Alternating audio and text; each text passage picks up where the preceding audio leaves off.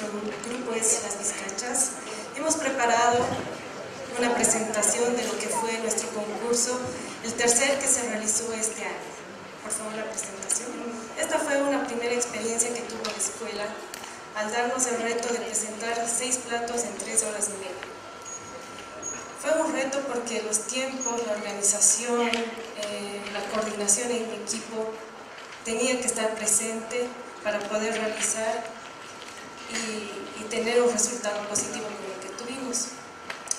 Nuestro primer objetivo fue el aperitivo de la balsa.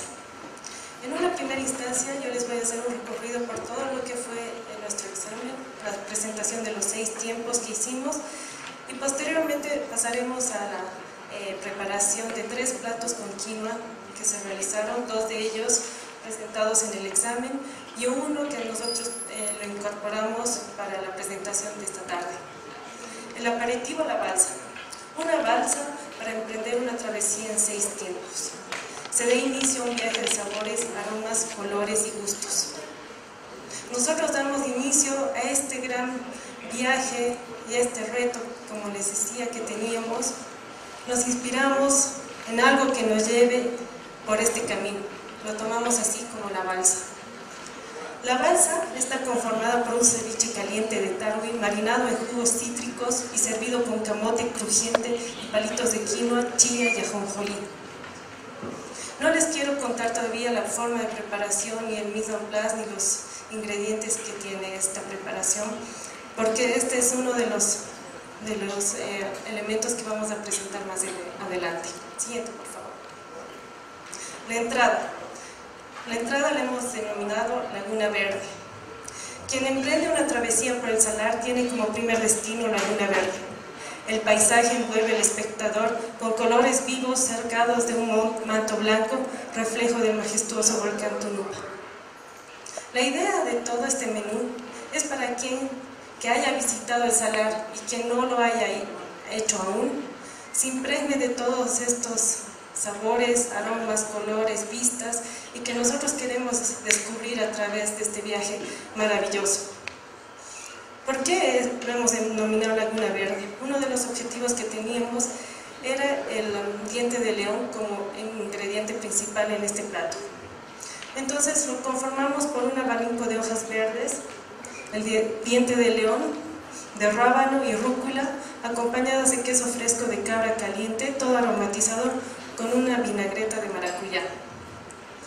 El queso que, que hemos empleado justamente es el reflejo de este majestuoso volcán Tunupa que lo describimos en la pequeña historia que le relatamos. Los verdes son la laguna verde. ¿no? Quien no haya visto estas imágenes, es un majestuoso paisaje que se maravilla visitantes extranjeros y nacionales. Y es así que los invitamos a pasear por ellos. Siguiente, por favor. El, siguiente plato fue una sopa de laguna, la sopa se llamó Laguna Colorada y es tras una larga travesía es momento de retomar fuerzas con un concentrado de caldito caliente envuelto de sabores de la tierra. Entre la papa seca y la chalona se experimenta una grata sensación que nos recuerda a las noches más frías vividas en Laguna Colorada. Cuando uno llega a Laguna Colorada se encuentra a bajas temperaturas. Ahora hablamos de la noche, ¿Por qué? Porque el recorrido que uno emprende termina ahí, en uno de los primeros días después de la gran travesía. Esta sopita lleva una papaliza cocinada en fondo de, cordero, chalona y aromatizada con hierbabuena. Se acompaña de crujientes bolones de chuño, mote, quino y chalona. Con los bolones de chuño lo que queremos representar es retomar y reconstruir a la papa.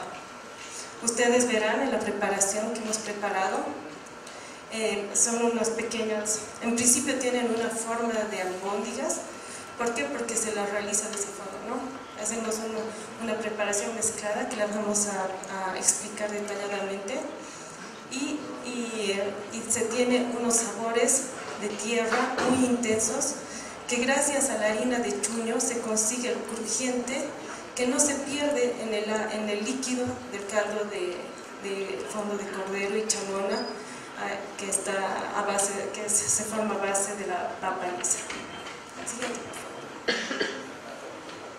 Claro, y para acompañar todos estos platos se nos pide un maridaje, que lo consideramos necesario, porque ahora empezamos con la parte fuerte, los platos de fondo. El, maridaje que nosotros hemos aconsejado para estos platos siguientes es, como estos eran tinto, eran fuertes de sabores muy penetrantes, lo hemos acompañado con un vino tinto tanat. Eh, es de viñedos Aranjuez, de la cosecha 2012. Es un, es un vino muy intenso, de taninos destacados, que perfectamente marida con carnes de tufo intenso, como es la llama, y carnes cocinadas a la brasa. Por favor. Hablábamos de carnes cocinadas a la brasa. Llegamos al primer plato fuerte que lo hemos denominado la hoguera. Cae la noche y los visitantes comienzan a sentir aromas aledaños provenientes de cada morada. El calor del hogar se envuelve en brasas y se vive una experiencia única probar los alimentos cocinados al fogón. Y es exactamente esto lo que nosotros hemos realizado como nuestro cuarto eh, plato. Hemos presentado una trucha ahumada aliñada con coa y naranja, servida con culis de hierbas y alcaparras, envueltas en una pasta de base de harina de, chuño y eh, rellena con unos camarones al ajillo.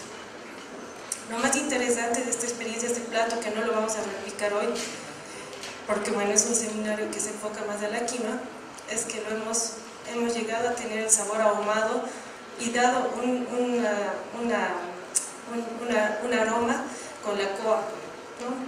Al principio pensábamos que iba a ser muy penetrante y saturante para el cliente, pero no. Hemos realizado las pruebas y se ha podido hacer el ahumado con los cítricos. Bueno, hemos usado naranja y acompañando con las alcaparras. Sido una buena combinación la que hemos presentado. Siguiente. El segundo plato fuerte. Hablábamos de las carnes con tufo y esta es una de ellas, la llama. La llama es una carne que hay que, si bien no es extremadamente difícil trabajarla, pero hay que tenerla cuidado para aquellas personas que la vayan a probar por la primera vez. No es una carne que, que fácilmente se la, pueda, se la pueda aceptar y para eso nosotros hemos preparado una, un filete de carne llama servida con arroz de cebolla caramelizadas para eh, papa corcho, salsa de queso roquefort y culis de hierbas. Pero principalmente esta llama